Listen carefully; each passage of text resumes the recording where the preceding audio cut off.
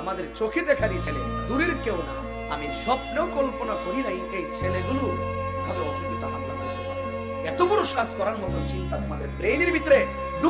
খে হ্যালো বন্ধুরা, মোল্লা শরীফুলের জিব্বা কাটার সাথে হাত রয়েছে নাকি গ্যাসুদ্দিন তাহিরির? এটা সত্যি নাকি মিথ্যা? এই ভিডিওতে বিস্তারিত আলোচনা করা হবে। ভিডিওটি শেষ পর্যন্ত দেখতে থাকুন। মোল্লা শরীফুলের জিব্বা কাটা ঘটনার পর থেকেই অনেকে এই পিকটি দেখার পরে গ্যাসুদ্দিন তাহিরিকে অনেক সন্দেহ করতেছে। অনেকে ভাবতেছে সে তার সাথে জড়িত রয়েছে।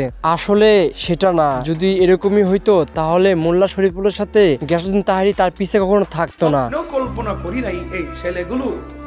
মুফতি শরীফুল ইসলাম নুরির মতন একজন ভালো আলে মোল্লা শরীফুলের সাথে জিব্বা কাটার ঘটনার সময় যারা জড়িত ছিল তাদের ধরার জন্য গিয়াসুদ্দিন তাহারি মিছিল পর্যন্ত করছে। তাদের কঠিন ও কঠিন শাস্তির জন্য সে মিছিল করেছে। আর দুই দিন পরে পুলিশরা চারজন ব্যক্তিকে ধরে।